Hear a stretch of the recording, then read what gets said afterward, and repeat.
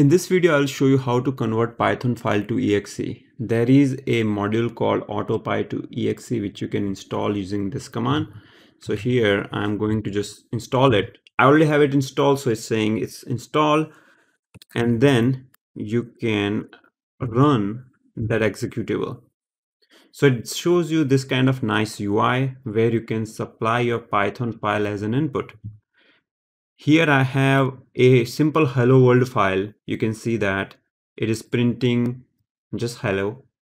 And I, am going to convert this file into exe. So I will just go to browse and I will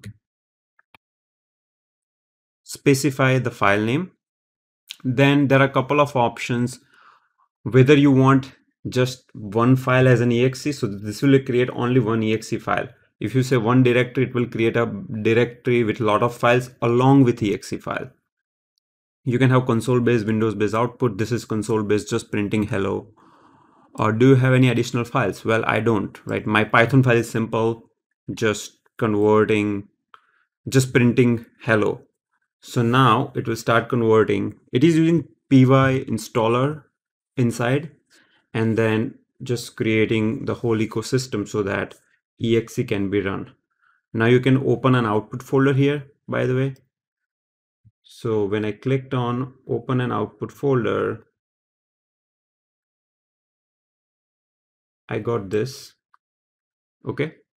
And when I run it, see, it will give this error because uh, there is a there is this issue with Windows virus threat protection. So what you need to do is you can go to virus and threat protection and go to manage settings and add exclusion because Windows doesn't know if to trust this file or not and that's why I'm just going to add entire folder like the folder where where this is running as an exclusion okay so I have that as an exclusion I also have C code hello world as an exclusion. So let me let me rerun it and add it in that that. Uh, so see here, you can specify where exactly you want to output. So let's see. So icon, you can specify icon here, advanced. Okay, no advanced settings. So in the settings, let's specify this one as an output folder. So I want to output here and then convert. So again, to resolve your uh, problem, resolve the problem of uh, virus, you need to add that C code hello world, which is this folder where the exe is, into your antivirus threat protection. When you run it, you'll see hello being printed. So hello printed and it exited really quickly. So maybe you noticed it I will just import time and just keep this for five seconds so that you can see. So I added some sleep here and I will again do the conversion. So clear output, convert Python to exe so that you can, you know, see the output properly. You see hello and now you have an exe. So that that's it. That's all you need. Now, if you have some external files that your Python file depends on. For example, I have a snake and apple game. Okay, so if you look at my snake and apple game, this particular file, this file is my snake and apple game, but it it depends on resources folder. There is like background music, there is you know apple icon, all of these things it is using. So in this case, uh, let me just show you how to do this conversion. So I will go here.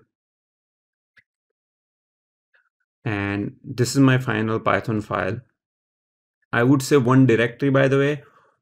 So I'll just instead of one exe I will generate the whole directory.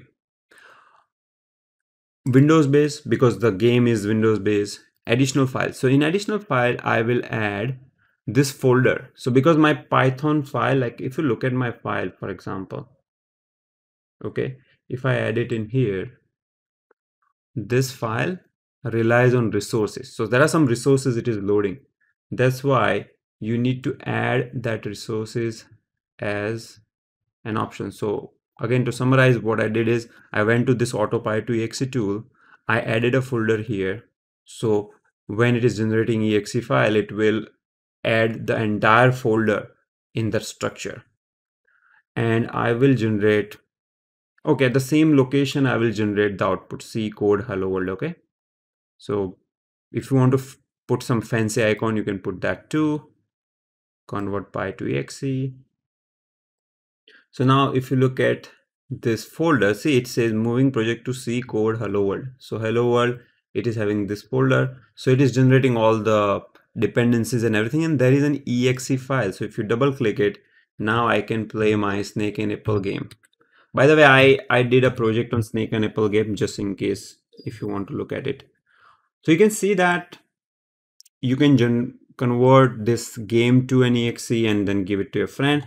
You can also create one file, but when I was doing it, I was getting some error because I have Python 3.8 version and this tool is relatively new. It is saying that 3.8 might have some problems. Okay. You can check the page of this project. So if you come here and if you look at the list of issues, etc. on this page, um, see if you look at this blog post. So this person created this awesome tool. It has some issues. For example, the antivirus detected to exe as a virus. See, so all of these issues you can check and you know you can use this tool accordingly. Thank you for watching.